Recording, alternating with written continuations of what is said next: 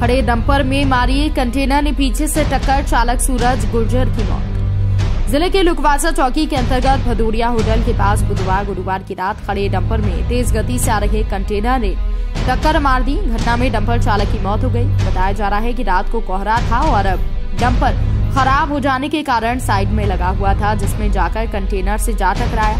घटना की सूचना मिलते ही पुलिस मौके पर पहुँची और घटना में घायल को अस्पताल भिजवाया। मृतक के शव को पोस्टमार्टम के लिए भेजा है। जानकारी के मुताबिक बुधवार की रात भदौरिया होटल के पास एक डंपर खराब हो गया था। इस कारण डंपर चालक सूरत गुर्जर, निवासी करेरा और अर्जुन गुर्जर वहीं पर रुक गए। रात लगभग तीन बजे एक तेज गति से कंटेनर आया और सीधे डंपर से जा टकराया। घटना इतनी भयंकर थी कि डंपर चालक सूरज गुर्जर की मौके पर मौत हो गई, जबकि अर्जुन गुर्जर घायल हो गया। मामले की जानकारी मिलते ही लुकवासा चौकी पुलिस मौके पर पहुँची और घायल को इलाज के लिए कोलारस अस्पताल में भर्ती कराया।